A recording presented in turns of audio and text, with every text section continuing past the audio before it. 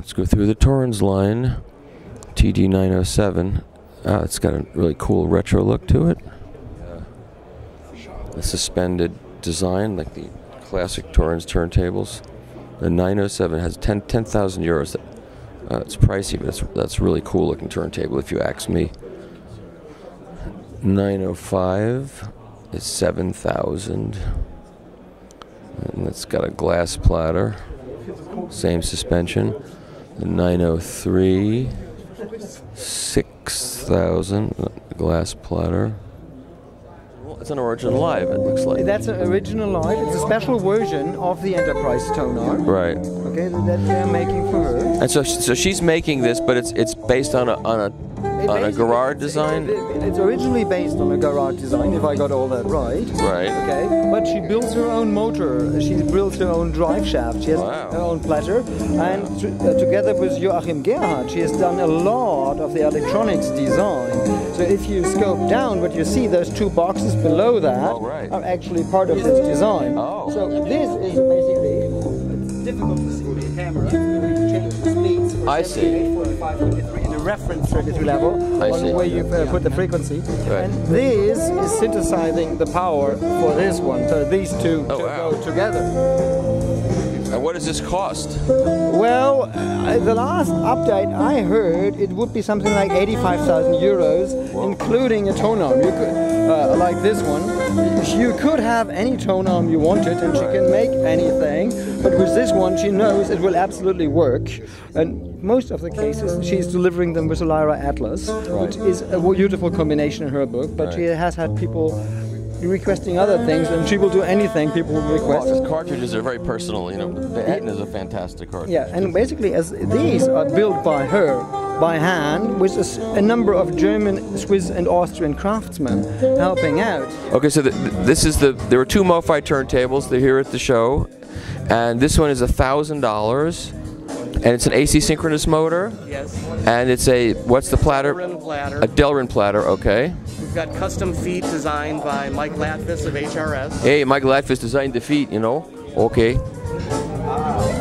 And basically, the designs for the turntables all began with the power button on our Studer tape deck at Mobile Fidelity. Oh, yeah, there And that's go. where we started. And the designs just grew from there. And uh, the customers at the show in Germany have been uh, very excited about the two turntables, the three moving magnet phono cartridges we have, and our two right, yeah. entry level phono preamps. Okay, so let's see. Now, how much is this turntable? This is the more This one's expensive. eighteen hundred dollars. And the difference seems to be uh, the platter. The platter's bigger. Yes, it's a bigger platter, uh, more reinforced motor, uh, better bearings in the tone arm, uh, more damping in the tone arm, and a uh, an aluminum uh, plate on the top for other damping. Okay. And uh, there have been some tweaks to the motor as well to prevent more vibration from getting to the stylus. Okay. And then uh, this is these are your two phono. Who designed these? Can you talk about that? Tim Paravicini's phono preamp. Uh, Oh. uh, he was uh, instrumental in helping us design the phono stages. So this, this is a so it's got a mono button, which is really cool. Yes, And- this and- is just an entry level phono stage for uh, I think 249, and then uh, the $500 version. This is moving magnet and moving coil. Yes, just, it is. Both. Yeah, the switches are underneath for loading, Okay. moving coil, moving magnet. Okay. And this one is how much? This one is going to be $500. It's a, a better circuit, and uh, it also has a built-in headphone amp. Oh! And so the output controls is only for the headphone. Yeah. Correct, only for the headphone. And both of these have subsonic filters because your new turntables have a lot of rumble.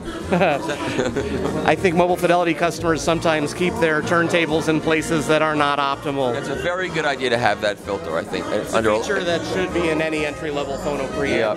Yeah, I agree. And then these are your cartridges. Yes, we're going to start with an entry-level moving magnet for about $200, uh, mid-grade moving magnet in aluminum uh, for about 499, and then uh, the upper-end moving magnet, which will be $800. Uh, the, the cartridges are made in Japan, but all the other electronics are all made in the United States. Oh, Outstanding. Uh, we are also going to have ex- expand our accessory line with uh, vibration control feet and a record weight, which uh, we've had incredible help from uh, our friends at HRS. Oh, fantastic. And one other question: If somebody buys a package of a phono preamp, a cartridge, and a turntable. Is there any special discount for a package, or is it you just add it up and that's what it costs? Retailers are going to have their own special bundles, um, and I have a special bundle, but you're not going to see it. You've been trying to show it to me for so long. D- don't tell everybody that. the truth hurts. Uh, yes, there, there will be all kinds of bundles and bundles that tie into the vinyl. And what we're trying to do is take the listener from the studio mastering lab into their listening rooms. And we want to keep control over the whole signal chain. And this is where we're starting at the source. And there's going to become a, a much larger line of mobile fidelity electronics as we go along. Thank you. You're very welcome, Michael. Thank you for uh, coming and seeing our products. So, Yeah, so this is our new Thales turntable TTT Compact Mark II. Um, compared to the older model, it has a new drive system, so this means a new motor, a new drive electronics, and especially a new mechanical arrangement to guide the belt very precisely, so the belt cannot move in any direction. And there are two additional flywheels to enlarge the mass, the turning mass. Um, we have uh, speed constancy about uh, double as precise as before. Really? Yeah. Wow. How come you didn't think of this before? Just kidding. So now it's uh, linear around 0.07%. Wow. Yeah. And what is this to sell for in America? Um, the turntable is $12,500. And that includes the arm, or does No, the arm is separately 8000 Yeah, So it's tw- about twenty thousand dollars. yeah, yeah, roughly. Fair enough. There's the platter over there. Okay, and that's that's what's new. Yeah, we have two different colors. So this is the black one, and the bright one is playing over there. So that's the the main change. Yeah. Okay.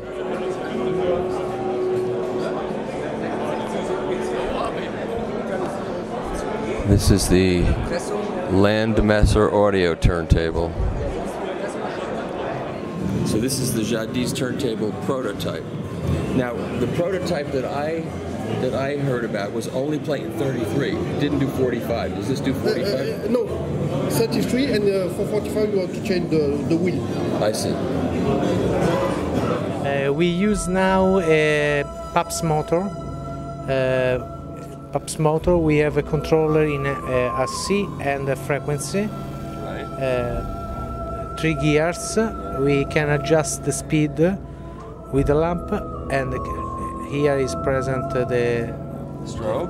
Okay, you can move the, the lamp. You can put two tone arms. And now we use for the coupling the motors, we use spring with not grommets because spring is best solution for rumble. So we don't uh, have rumble. Right, and, and that's, Uh, that's, for that's- only for transport we put the grommets. and that's it over there opened up. Let's let's move. You can see the the Papst motor. This is the Papst motor, uh, made in Germany, produced in 1973. So it's this is so this is a vintage motor. Eh, but uh, are new.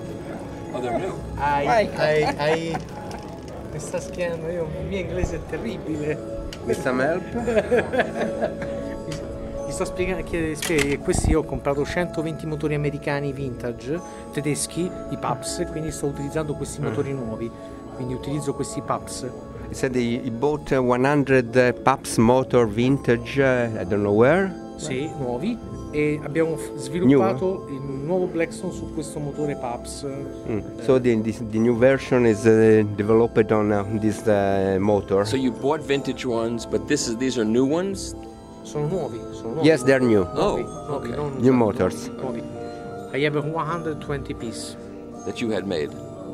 Yes, it's very incredible. Uh, this motor was used in a Troubadour, uh, was used in a Troubadour in Thorens, in, uh, in Thorens. Sure. Yes, high torque. It's beautiful. Have you reviewed one of these? Yes, It's good. yes, it's good.